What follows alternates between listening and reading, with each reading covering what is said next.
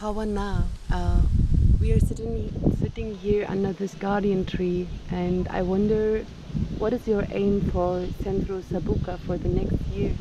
Quais são os seus objetivos para o próximo ano aqui no Centro Sambuca? Então, o nosso objetivo para o próximo ano, nessa união e, e junto com nossos irmãos, nossos Ietsame, a Uruana e Bacatim, e Muinara,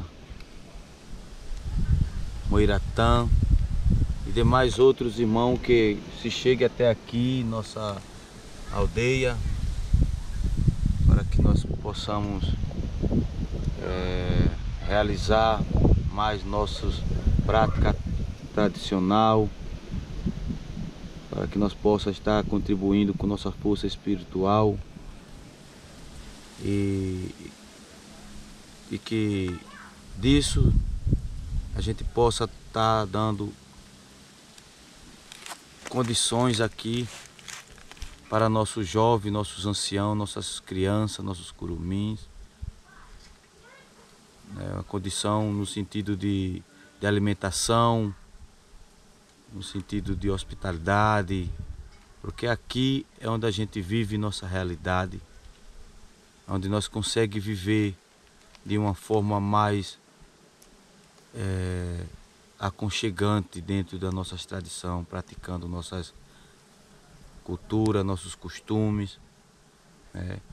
E a gente, desde alguns anos, a gente já vem recebendo esses irmãos, né? guiado por nossos mensageiros aí, Uruano e Bacatim, que é onde todos que ela trouxe até aqui, a nossa aldeia, eles têm contribuído muito para é, é, essa, esse desenvolvimento, né?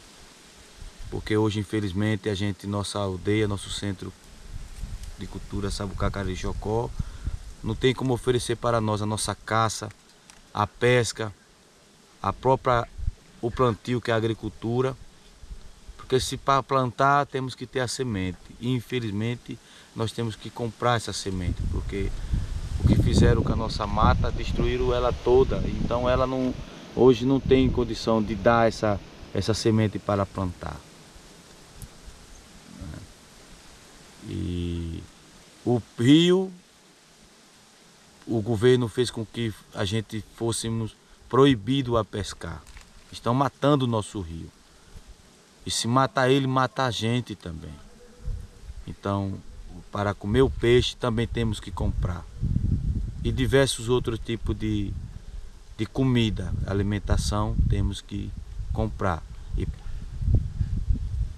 e, e é isso, então a gente espera todos aqui de braços abertos e que vocês possam contribuírem ajudando nosso povo Cariri Chocó, ajudando nossas crianças, as mulheres, que fica muito feliz quando vocês estão aqui e que vocês fazem essas contribuições para que nós tenha nossa alimentação e nossos outros projetos que temos sonhos de ser realizado aqui, dando a sustentabilidade e fazendo com que eles trabalhem, porque o que nós gostamos é de trabalhar. Então, aí fica nosso agradecimento e essa é a nossa perspectiva para o próximo ano. Venha aqui em outubro, dezembro, estamos aqui aguardando todos vocês. E na TQE.